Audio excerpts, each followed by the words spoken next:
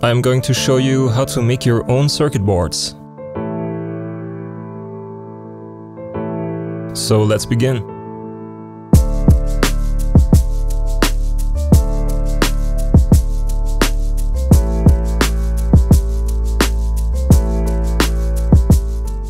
So to start out, we're gonna need a couple of things. First of all, obviously we need the circuit board itself.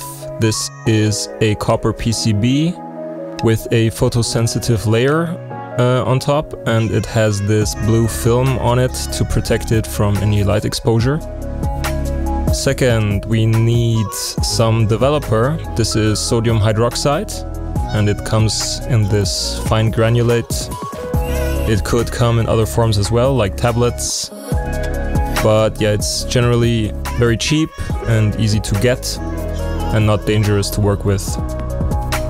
Next, we need some etchant and I'm using ferric chloride solution.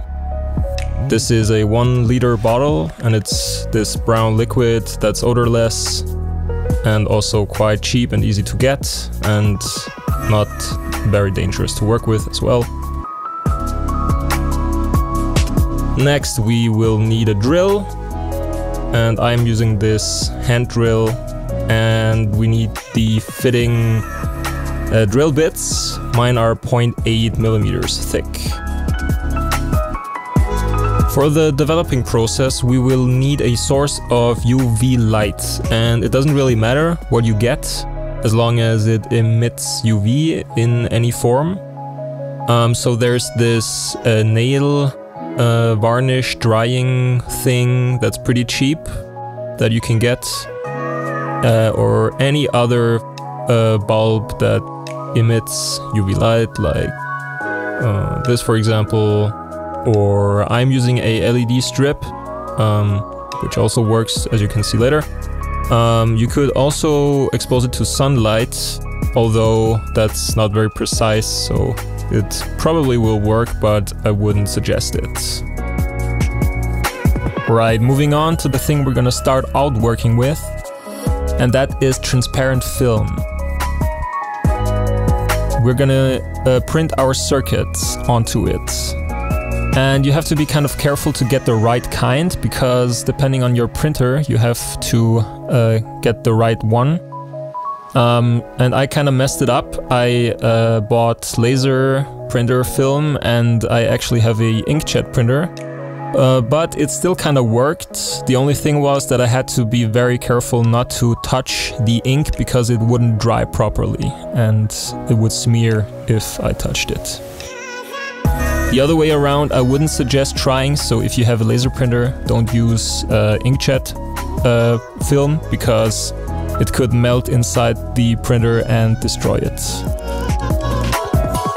Okay, I printed my circuits onto the film and next we have to deal with a, a, very common issue that can also arise if you use the correct uh, kind of film.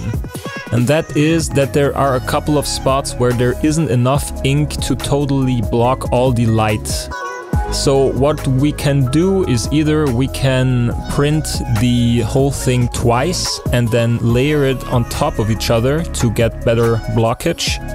Or what I am doing is I'm using this permanent marker to just paint over those spots. After I'm done doing that, the last thing to do is to cut out the individual circuits.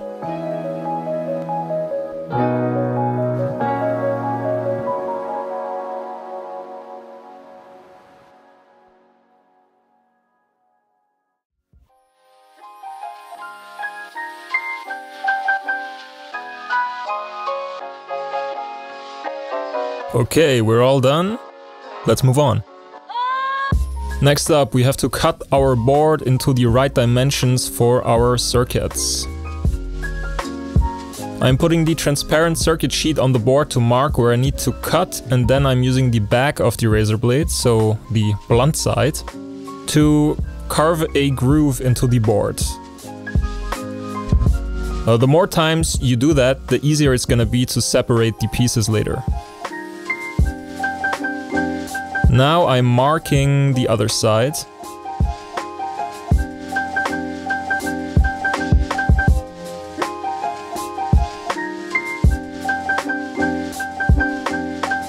And this time I'm using the sharp blade, uh, the sharp side of the razor blade to cut through the blue film and the copper.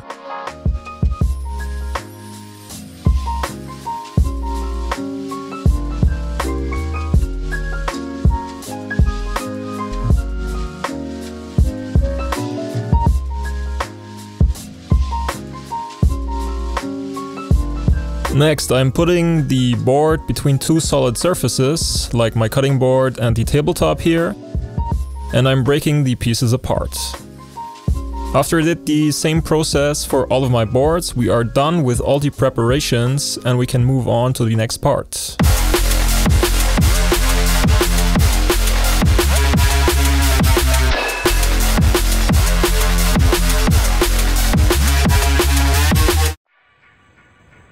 The first thing that we're gonna do is to create our development solution.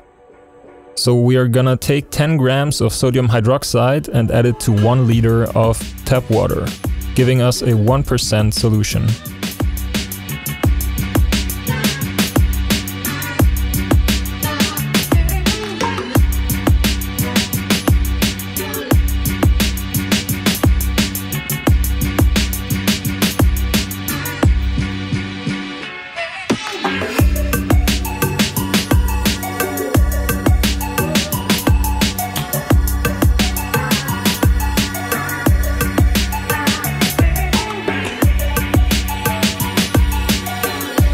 Now we're gonna take our circuit board and remove the protective film.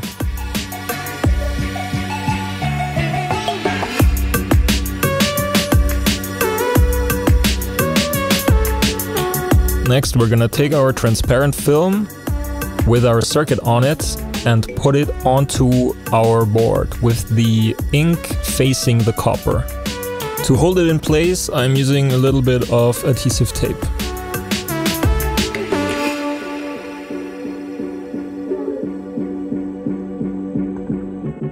Next up, we're gonna need our UV light. This is a, a, UV chamber that's normally used for 3D printing and it is a LED strip inside a paint canister. If you have any other source of UV light, just put your board underneath um, that in close proximity and expose it for around 4 minutes. In the meantime, I prepared this glass dish and I put about one centimeter of our development solution into it. When the 4 minutes are up, take out the board, remove the transparent film and put it into your glass dish. Now swirl it around, as you see here, and you're gonna see the lines developing.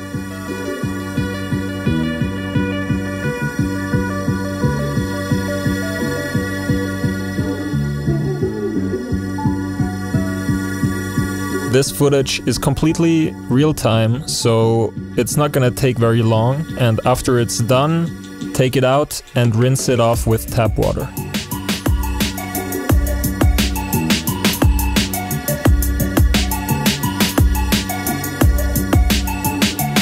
And this is how it should look.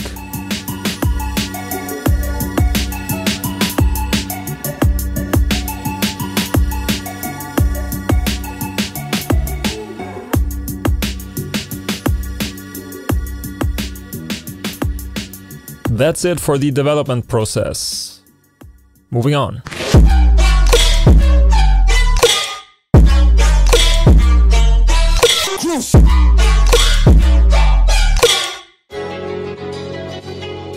Alright, so I prepared another glass dish with about 1 centimeter high of ferric chloride solution in it.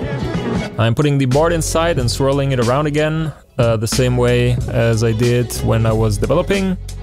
Um, but yeah, now we're etching. So um, this process is gonna take a lot longer. Um, at least 10 minutes. Uh, but after 10 minutes or so, it looked like that. Uh, so if it looks like this, it's not done yet. So I'm, I put it back and uh, gave it another go and it took over 20 minutes but afterwards it looked good and I rinsed it off again with tap water There's just a bit of copper around the edges there, um, but as long as the circuit is fully separated, it's not really a problem, but I'm gonna clean everything up a bit later. Next, I'm doing the other two circuits. So this is the big board that we can see here. And here it is done.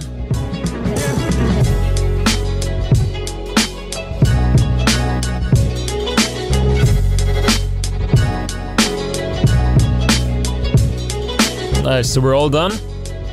Last step is to put the etchant back into the bottle, because you can just reuse it.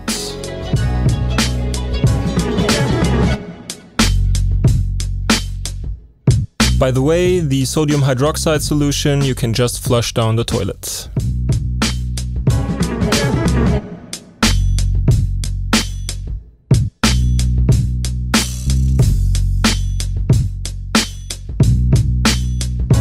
Alright, let's move on to the final step.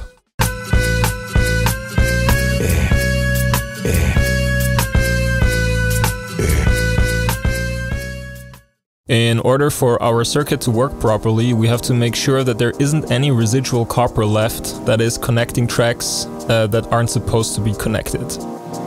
So if we find something like that, we have to fix it. Uh, in my case, it happened here in the middle of the main board, and we have to break this connection now. We have a couple of options to do that. Uh, I could cut it with a razor blade or sand it away with sanding paper or I have this uh, engraving tool here with a spinning tip and I can just uh, carve it away with that. The important thing here obviously is to break the connection. Um, if it doesn't look perfect, that doesn't really matter. But you have to make sure that there isn't any copper left that's connecting the two tracks. If the opposite happened and you accidentally broke a connection or too much copper got etched away, you can make connections by soldering on some copper cable, but that did not happen in my case.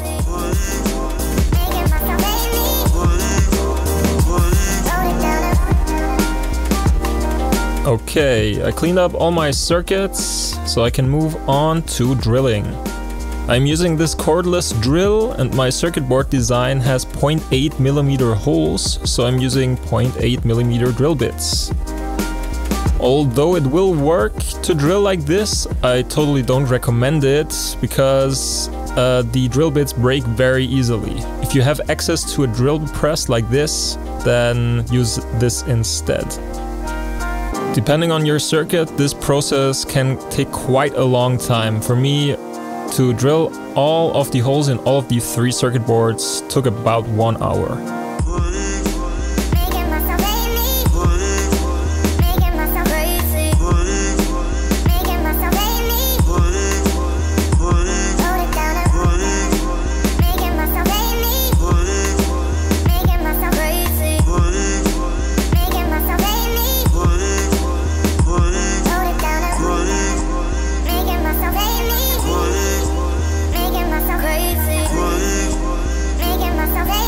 And with that, our circuit board is finished and ready to be populated with components.